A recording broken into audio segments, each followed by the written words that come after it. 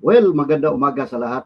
Purihin ang ating Panginoon dahil ang Diyos ang siya nagkaloob muli ng kalakasan. At salamat sa Diyos dahil nagkaroon tayo ng uh, internet signal. Medyo struggle kanina. And sa Abundant Life Ministry sa ating Sunday School, ngayong umaga, ang pag-uusapan natin, simulan natin yung ating subject na theology proper or the study of God. Uh, the study of God. Yan ang mahalaga sa theology. Kailangan-kailangan sa theology yan. At number one sa theology ang proper theology. Okay? Kasi kung hindi tama ang pangunawa sa pagka-Diyos dito, medyo magkakaproblema tayo. Salamat sa mga kapatid sa inyong prayers, higit sa lahat sa inyong pagkakaloob ng panahon sa ating mga activities online. And because of your sacrifices and your support to our uh, local church, the Lord will continue to bless you. Now we will pray, Lord Jesus, help me to teach about uh, theology proper And I pray for your help to give me wisdom through the word. And today, help me, God, once again. I believe it in Jesus' mighty name. Amen.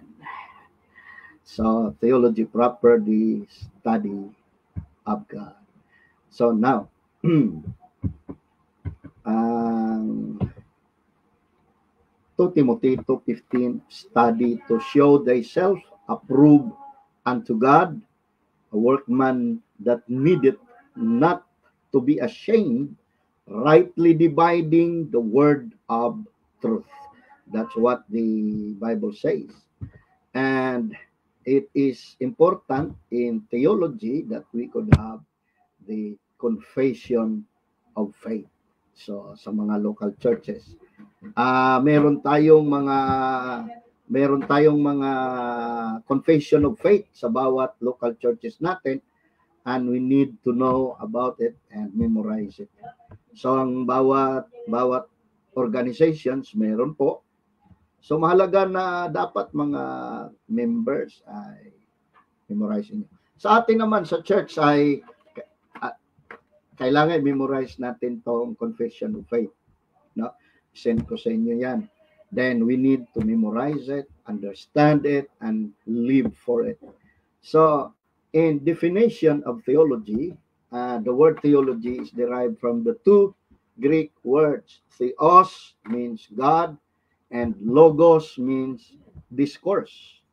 So, when we say theology proper, so it is the study of the knowledge of God and His relation to mankind. Ano yung relasyon ng Diyos doon sa tao. And now, when we say, ako, nag-aaral ako ng, ng Word of God, nag-aaral ako ng Bible. So, meron tayong kalayaan na gumawa ng comprehensive study concerning God. No, meron po. Kasi ano yan eh, uh, yun ang purpose bakit tayo nag-aaral, bakit tayo nagsasaliksik So, yung iba naman gumagawaan talaga ng kanilang sariling systematic theology. So, which is good. So, kasi ang ang katotohanan naman ay uh, libre sa lahat yan. At ang katotohanan ang siyang nagpapalaya sa atin. Ye shall know the truth and the truth shall set you free. In John 8 verse 32. So, ang pagkilala sa Diyos at pag-aaral tungkol sa Diyos at pagka-Diyos. Yun ang isa sa mga goal ng bawat isa. So when we say theology, uh, theology is universal. Okay? Bakit universal? Kasi lahat ng individual o tao na nais maging theologian, pwede. pwede po nandoon lang yung pagiging masikap, masigasig sa pag-aaral. higit sa lahat yung pagkilala sa kalooban ng Diyos at saka paniniwala siyempre natin sa Diyos. Kasi ayon sa uh, mga kawikaan, as a man thinketh in his heart, so is he. So, pwede. Pwede siyang maging theologian. Lahat po. Kaso, kailangan, pag nagiging theologian po tayo, kaakibat doon yung asal, yung pag-uugali natin. How do we present our theology with a an godly character? Kasi sa pag-aaral sa theology, automatic apektado yung ating uh, spirit, yung character, bawat isa sa atin as we are studying God, about God. Okay? Pero pag nagkulang din naman tayo doon, yun ang problema. Kasi ang totoong theologian, ang fundamental activity ng theologian, study. Pastors, Christians, believers, o lahat ng mananampalataya, ang ating number one na na focus ay aral. Kasi yun talaga ang kailangan ng bawat isa sa atin, yung mag-aaral tayo. Okay? Talagang aralin natin kung ano yung nais ng ating Panginoon sa atin. Hindi pwedeng hindi. Okay? Hindi pwedeng hindi. So, yun ang need ng bawat isa. Aral. Well, thank you, Sister Helen. Uh, Sister Helen now is watching. God bless you, Sister. Okay, praise the Lord. So, mamaya ay send ko sa inyo yung ating confession of faith. So, memorize nyo yan. No? Memorize nyo yan. At salamat. May mga ilan akong mga estudyante dati sa theology. Andyan din. God bless you. No? God bless you, Pastor. Uh, Pastor Sin Kenneth. Biga. God bless you, sir. Now, um, when we say uh, theology, it is universal. Why? Because uh, theology becomes the most vital and fundamental of all studies. Yan talaga ang pinaka-basic dapat na unahin. Eh, dapat sa mga schools, eh, yung curriculum, kasama yung theology doon talaga. Ano man yung uh, meron, meron yung tinatawag na religion subject. Kaso, ang pinag-uusapan about religion, ang tumbo, iba-ibang religion. So, dapat meron talagang specific na ang pinag-uusapan about theology, which is proper. Sana, maganda sana kung ganyan. Maganda sana sa mga hindi Christian school. may singit sa lahat. So, so ang individual ay dapat magkaroon ng apprehension, magkaroon ng interest na ang pinakamataas na maabot ng kaisipan ng individual ay ang pag-aaral ng teolohiya. Yun dapat ang magiging goal. Kaya nga, ang encourage ko sa mga young people, mag-aral sila ng theology, Bachelor of Arts in Theology. Kasi kung kukuha sila ng uh, ang tawag diyan, teaching units, makapasa sila sa LET, ang kanilang hawak sa school ay values education ang kanilang major, which is uh, good na madaling i-collaborate yan doon sa theology. Pwede. Uh, madali. Uh, kaya nawa, nawa. No? So ang ang ang bawat isa ay dapat ito yung kanya hangarin ayon sa Salmo wa Psalms 119. Psalms 119 verse 18. Okay? Paki pakibasa, Brother Popoy. Psalms 119 verse 18.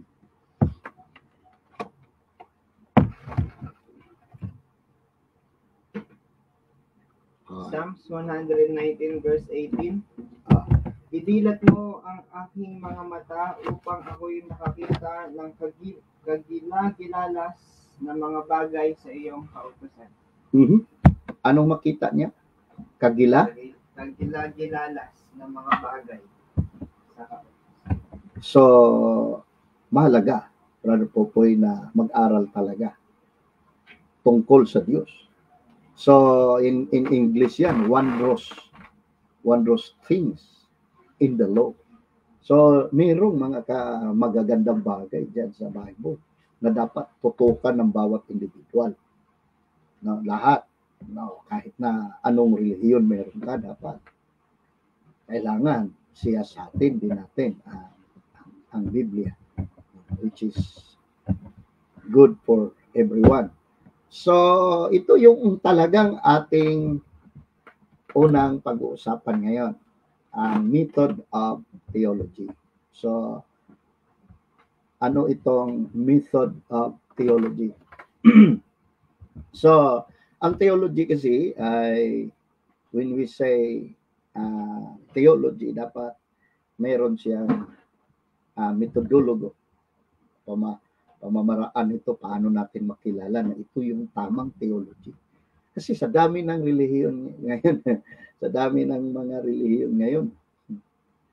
So, ito ay isang gawain natin bilang mananampalataya para makilala natin yung tamang theology ng isang isang samahan na naka-influensya sa inyo, naka-influensya sa atin. Lalong-lalo na yung ating mga kapatid no? no sa church. So dapat hindi kayo basta-bastang sino-sino na lang yung pinapanood ninyo sa Facebook ng mga preacher. Kasi kung mali ang theology noon, ay mali talaga lahat.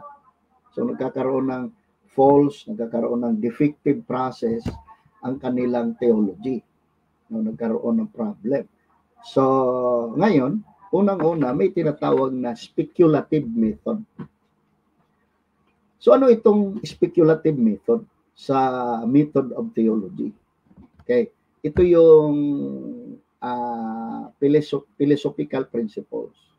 For example, yung DSM na na principles na ang kanilang ang kanilang view ay paglikha sa mundo ay parang paglikha ng isang relo. Nung nabuo yung relo, automatic na gumagalaw. Nandoon na yung uh, perpetual na yung paggalaw. Ganon din sa mundo. No, ganon ang kanilang belief. So kumbaga, ang Diyos eh hindi na makikialam ngayon kasi buo na yan. Eh. Meron namang pantheist eh, uh, na nagtutukoy na God is all or, or all is God. No, yan naman ang pantheism. No, ilan lang yan sa mga speculative method. Meron namang rationalism na kung saan the mind has created God. So, dahil magaling ka sa pagiging rational, pwede na, pwede ito na ang nagbubuo. Uh, evolution, lalo na. evolution. Ano ito? Ito yung posisyon na pagtuturo na na kumbaga eh lahat ng bagay dito sa mundo it is a product of time, space, and by chance or plus chance. So when we say Christianity, uh, when we say Christianity, this is what we call the foundation of uh, pleasing God or faith natin. Kasi it's more of faith eh. So, i-displace naman niya yung philosophy. Kasi ang philosophy na katulad nitong deism, pantheism, rationalism, ay hindi obra yan pagdating sa uh, Christianity. No, hindi obra yan. So magkakaroon ng problema. Kasi ang ang Christianity, ang pinaka uh, key verse niyan pagdating dito sa sa ating ano sa ating speculative method yung Colossus 2:8 sige nga pakibasa yung Colossus 2:8 Brother Popoy Colossians 2 verse 8 Colossians 2 verse 8. Hmm. So, pakinggan natin. Pakilakas lang. Colossians 2 verse 8 Beware lest any man spoil you through philosophy and vain deceit after the tradition of men, after the rudiments of the world, and not after Christ. Pakitagalog niya. Kayo'y magsipag Lakasan mo dito ka banda para marinig ka. So, thank you, sir. Oh, nandito pala si Sir Amparado, si Jomar. Uh, thank you for watching mga ating mga pastor. Si Sir Amparado, ah, pastor ito sa pulis ito eh. Pastor ito sa ah, Lumbia.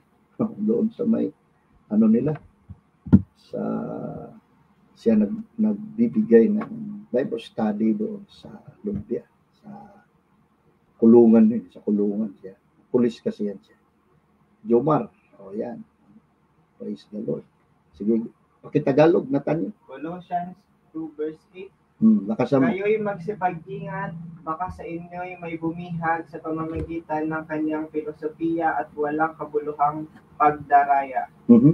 Ayon sa salit-saling sabi ng mga tao, ayon sa mga pasimulang aral ng sanglibutan at di ayon kay Kristo. Yan ang problema. Hindi ayon kay Kristo.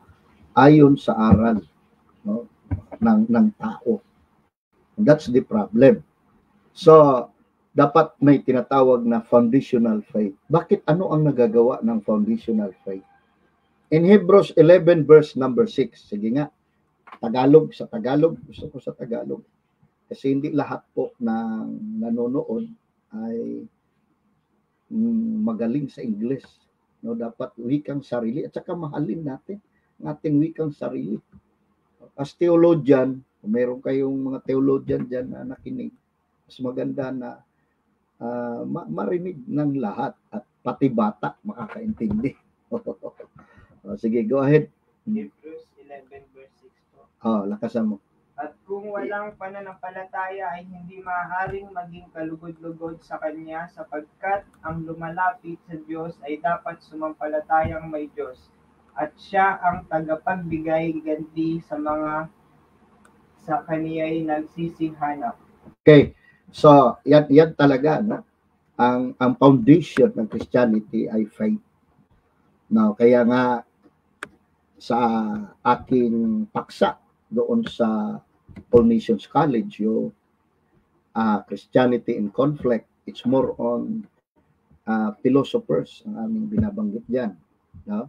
Kung ano yung kanya sinasabi tungkol sa Bible, kung an- tungkol sa Diyos, patungkol sa ah, Christianity. Uh, purihin ang Panginoon dahil bilang guro ng mga nag-aaral sa teolohiya, eh kahit pa paano, may alam akong konti sa mga philosophers na yan. Pero, pag once ng kanilang idea, itong philosopher na ito, once sa kanya idea ay lumihis na sa Bible, speculative na nila yan. No? Speculative na nila yan. Kahit gaano kagandang pakinggan. Kasi hindi naman pwedeng pangit pakinggan eh. Maganda talaga kasi logic ang pinag-uusapan. Filosofiya ang pinag-uusapan. Magandang pakinggan. At nagmumukhang tama. Nagmumukhang tama. So hindi lang tayo magbanggit ng ninuman kasi karamihan din sa mga profesor at mga mga nag-aaral din ng filosofiya, may mga idol-idol na philosopher din yan. Eh. Baka mamaya eh, makabanggit tayo rito, masaktan naman ang kanilang mga damdamin. Pero ganito po, mga kapatid ha, sa church, once na hindi na sumang-ayon, lalo na kayo, mag-aaral kayo ng kolehiyo, na ang kanilang filosofiya ay hindi na sumang-ayon sa Biblia, speculative method yan. No, ganun kaagad ang ilagay nyo sa kaisipan niyo. No, speculative method yan. ay maganda pakinggan talaga yan kasi lalo na sa pagdating sa ah, age of reason, enlightenment. Ah, grabe, mga philosophy dyan. Talaga namang, pag hindi ka rooted sa Bible, eh, makumbinsi ka. Pagdating mo sa universidad, mag-aral ka, Nako, baka pag uwi mo, hindi ka niwalang may Diyos. Now, next next method, yon sa pag-aaral ng teolohiya, yung tinatawag nating mystical. Mystical method, these are the individuals who claim special revelations from God. So ito yung mga tao na niwala na nagpahayag sa kanila ang Diyos. No? Ito yung mga tao na nais magbigay ng ng pagkontrol o manipula sa kanilang kapwa. Ito yung mga leader o sino man sa loob ng simbahan na nais magmanipula. Na manipulahin nila yung maari ng isang kongregasyon.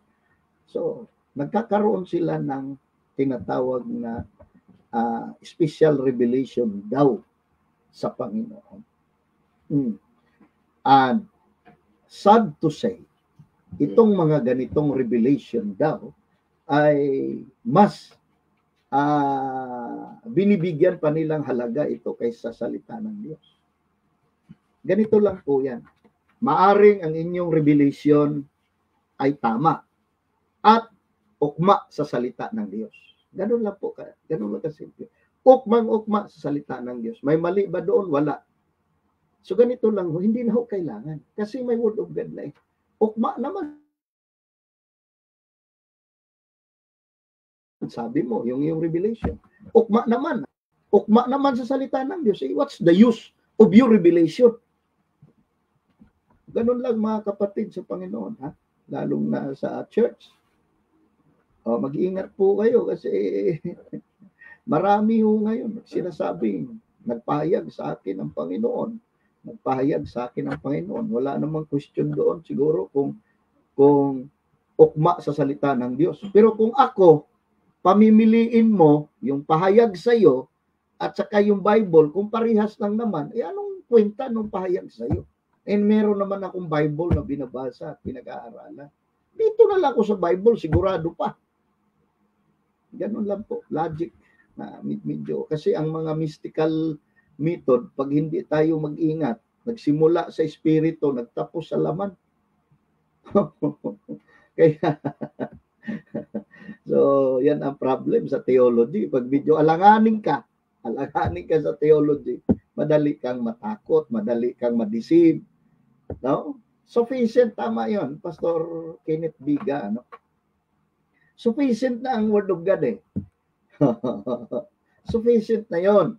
So what's the use of your revelation? What's the use of your uh, your tinatawag nating kapahayagan? Eh kung sabi mo nga eh uh, parehas lang naman sa Word of God at pantay naman sa Word of God. O halimbawa lang talaga ganon. O eh, unnecessary na yung revelation mo. Hindi na kailangan po yan. Dito na tayo sa Word of God. Huwag na tayong magpasikat sa pulpito, huwag na tayong magpasikat kanino man na mas spiritual ka, mas kinausap ka. Pantay-pantay lang tayo sa harapan ng Diyos lahat eh. Na tayong magmayabang sa isa't isa. Ang tinitingnan ng Diyos doon, hindi yung sakripisyo mo, haba ng prayer mo, haba ng ganito mo. Ang tinitingnan ng Diyos doon, yung kanyang kanyang sakripisyo sa Kalbaryo. Yun ang kanyang bisis eh. Oh, kanyang bisis eh. Kaya ang isang mga churches, ito pinaka-spiritual, ito medyo alanganin, ito pinaka-anointed, ito wala. So, ganun ang nangyayari tuloy. So, dinidegrade natin yung trabaho ng Diyos sa pagligtas, dinidegrade natin yung kanyang ginawa sa krus. Hindi pa ba sapat yun? Yung ginawa ng Diyos sa krus? Di ba? And I, I think that's enough.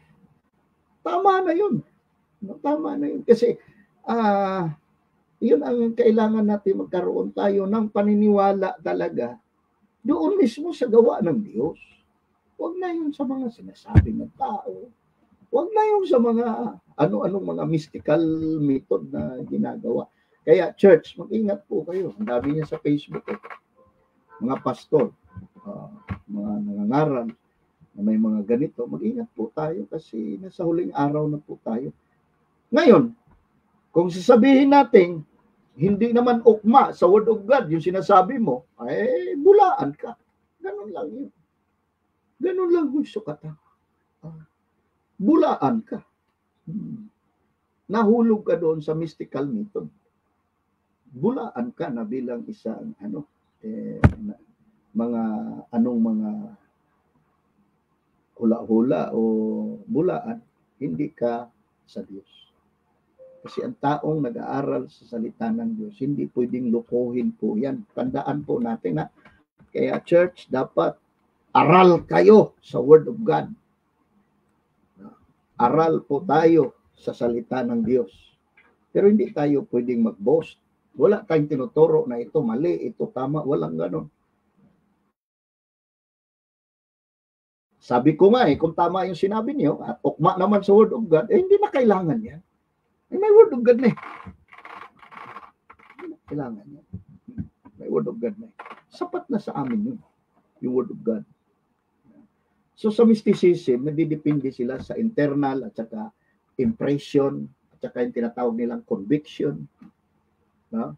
rather than the authority of the scripture. Ang dami niyan mga grupo na yan, mahirap banggitin ano. Andyan po yan. No, mahirap tayong banggit dito kasi sa ating church hindi tayo ah, ano on- online to eh. Pero kung nasa loob to ng face to face, isa-isahin ko talaga sa inyo yan kung sino to mga grupo na to.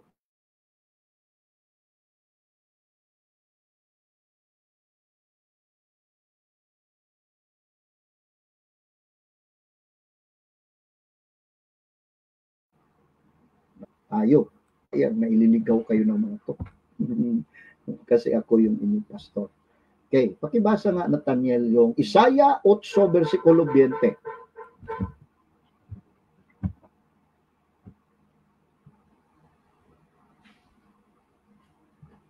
Isaiah 8.20 Mhm. Sa kautusan at sa patotoo, kung hindi sila magsalita ng ayon sa salitang ito, tunay na walang umaga sa kanila. Oh, bakit walang umaga? So itong mga taong ito pala na hindi nagsalita ng ng tama sa salita ng Diyos. Walang umaga. No light in them. Ibig sabihin sa sa sa Ingles. So that's the problem. So itong mga ganitong mga congregations, ang mystical method sa kanilang theology, spiritual subjective standard. No? Spiritual subjective standard. They focus on their experiences. And most of them departed from the scriptures. Yan ang problem. Kasi ito yung karanasan ko eh. Ito yung nangyari sa akin. So, yung iba, lumayo na doon sa standard ng Bible talaga. Kaya lumayo na sila doon. Yan ang problema. At ang mga karanasan nila, yun na yung basihan ng kanilang turo. Niyapos na nila yun, niyakap na nila yun. Mystical method. Nagsimula yan sa lumang tipan. Di ba? Sige nga, pakibasa Deuteronomy 18:20.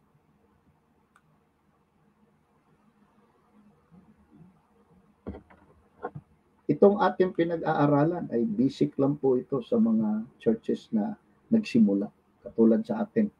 No, three years pa lang po tayo. So, kailangan ituro ko sa inyo to. Ito yung foundation. Kasi, mamaya magpastor yung ibang yung people natin, Sister Carol eh. Walang foundation eh. Delikado. Mauwi sa mystical method. Sige, go ahead. Read it in our own dialect. Deuteronomy 28 verse 20 Nakasama. Ibubugso ng Panginoon sa iyo ang sumpa, ang kalituhan, at ang saksaway sa lahat ng pagpapatungan ng iyong mga kamay na iyong gagawin hanggang sa ikaw ay mabuwal at hanggang sa ikaw ay malipol na madali dahil sa kasamaan ng iyong mga gawa na sa gayoy pinabayaan mo ako. Yun. So, huwag nating hayaan na ang ating mga kinabukasan eh, mawalang bisa yung ating pinaghihirapan.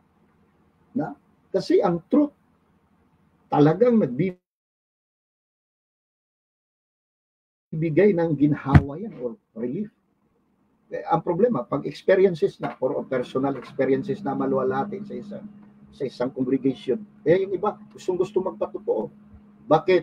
Gusto gusto nila ipagmayabang yung kanilang karanasan. Wala namang problema yun eh, basta ang naluluwalhati ang Diyos. Pero hindi na minsan, yung tao na minsan.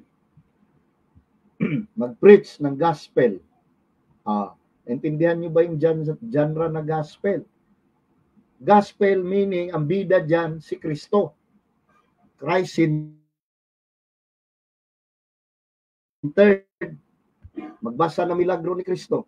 Nung nangaral na, mas marami pa yung milagro sa kanya ministry kaysa kay Kristo. O, di ba mystical yun? Ganun lang kasi. Kaya mag-ingat kayo dyan sa mga online, online mga kapatid, kung milgawa yan kaysa kay Jesus Christ.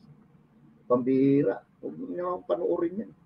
Sino-sino yung mga mga Amerikano na ina-idol ninyo ng mga preacher.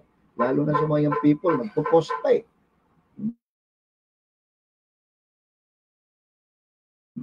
Post pa eh. Mas marami pa yung milagro niya kaysa kay Jesus Christ. Eh.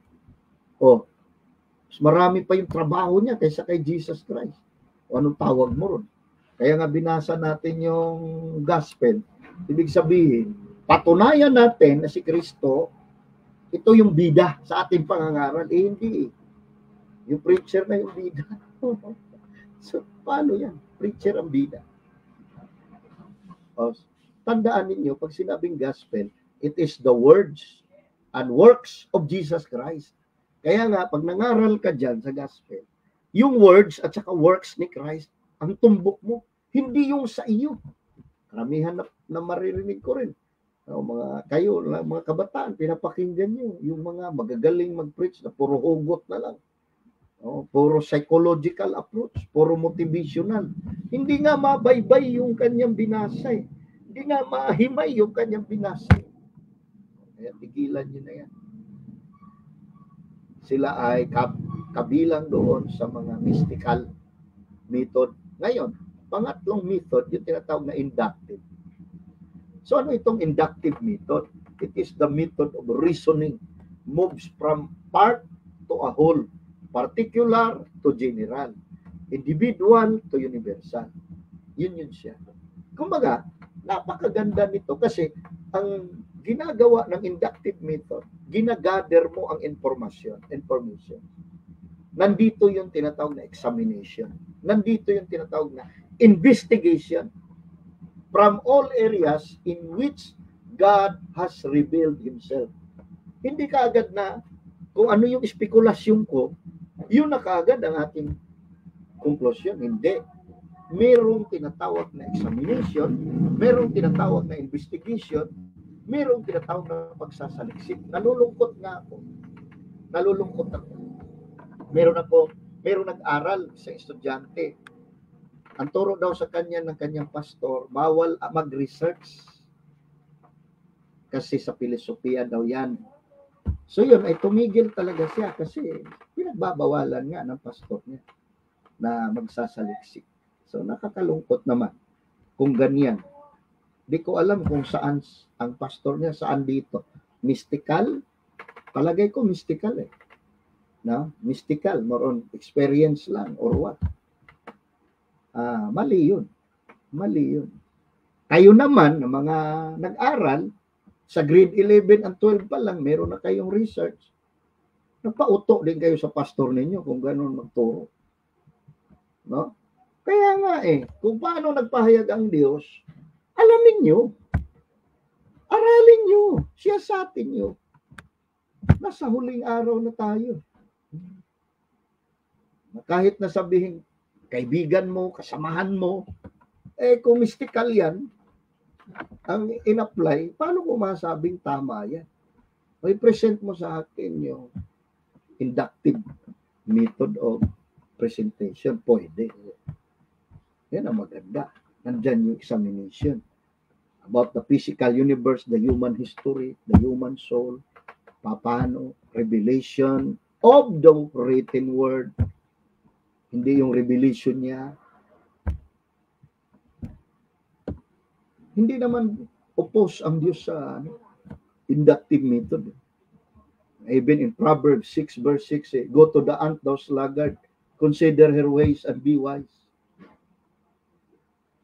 Surely I would speak to the Almighty and I desire to reason with God. Oh, come now and let us reason together, saith the Lord. Though your sins be as scarlet, and they shall be white as snow. Though they be red like crimson, they shall be as wool. So tingnan natin. So dapat doon tayo sa inductive. Itabi nyo na yung pagiging mystical preacher nyo sa pagiging mystical teacher nyo. Di ba? Pagiging uh, using our uh, reason or logic kung paano ba yung pagiging speculative ninyo. Hindi ho. Inductive. Kung ano yung nandyan sa Biblia, yun ang palalabasin yung kahulugan. Huwag na tayong gumawa. Sampo tayo rito. Sampo rin ang magbibigay ng interpretasyon. O sino sa atin yung tama? Di ba? Sino sa atin yung tama? Eh, meron naman talagang proper na dapat ng pagsunod. Inductive dapat. Inductive dapat yan. Kaya ako maraming galit sa akin. No? Sa patalikod, sinisiraan nila ako kasi eh, ayaw naman akong kausapin at paliwanagan natin kung ano ba talaga ito proper na dapat magkaayos tayo sa harapan ng Diyos. Kasi ito ng panahon, magtulong-tulong. Na mag-away-away. No? Mag-away-away pa tayo eh. Ang sabihin na, ah, mayabang talaga yan kasi nag-aaral. Eh, kailangan ko mag-aral kasi nagtuturo ako. Hmm. Pero hindi ito pagmamayabang. Ito ay binubuksan ko lang yung inyong kaisipan. No? Lalo na sa ating mga kapatiran. Kayo mga kapatid, mag-isip kayo kung sino-sino yung iniidolo nyo preacher eh. Hindi naman maipahayag yung katotohanan mula sa kanyang binasa na salita. Kasi ang dami yan sa Facebook. Eh. Pinapanood nila, sinusundan, sinishare pa sa akin. No? Sinishare pa sa akin. Sinishare nyo sa akin yung yung yung mga mystical method ng interpretation which is wrong. which is wrong. Dapat doon tayo sa inductive approach. Talagang maganda yung pagka-baybay. Himay ng kahulugan. Okay. So, deductive method naman, yun yung pang-apat, no? Deductive method. Okay. Saan na ba tayo? Mystical, inductive, tapos yung deductive. Ah, okay? Hanggang doon lang muna tayo sa deductive kasi naka ilang minuto na rin ako dito. No, medyo mahaba-haba ng usapan ito. Now, uh, this deductive method of reasoning, it is from general principles to specific. So, kumbaga, ang nangyayari, katulad niyan, sabihin mo sa John 3.16, God is love. So pag sinabing God is love, napaka-general. Eh. Kung general yung word na yan, loaded yan. So, paano ngayon nag, nag, nag-manifest itong love ng Diyos na ito? Ah, yung kanyang concern, yung kanyang tender care, no? nagmamanifesto yan. So, dito na ngayon papasok yung specific. Okay? Kaya mostly ang pag-aaral sa Word of God, hindi doon sa deductive, kundi doon sa inductive.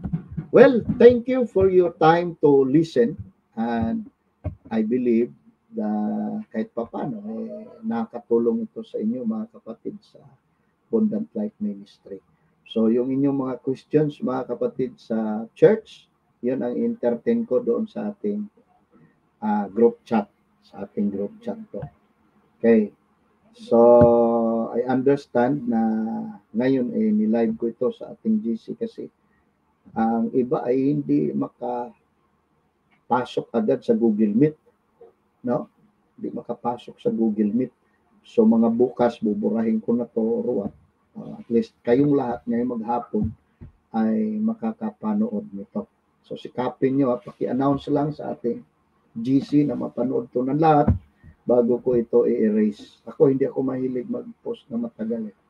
Ah, oh, ito, oh, sige, Jibin. Oh, God bless you, Jibin. Oh, God bless you, Pastor Kenneth, Pastor Joas. Oh, ito kinakapatid ko to. Ayan. Amen. Praise the Lord. So tayo manalangin sa Panginoon dakilang Diyos ngayong umaga. Maraming maraming salamat sa iyong pagpapala sa amin. Ikaw, Ama, ang isang Diyos na bibigay gabay at direksyon sa bawat isa. Purihin ka, Panginoon, sa iyong mga salita. Salamat po at nagbigay ka ng protection sa iyong mga anak sa Abundant Life Ministry. So mga kapatid, God bless you all and thank you. Praise the Lord.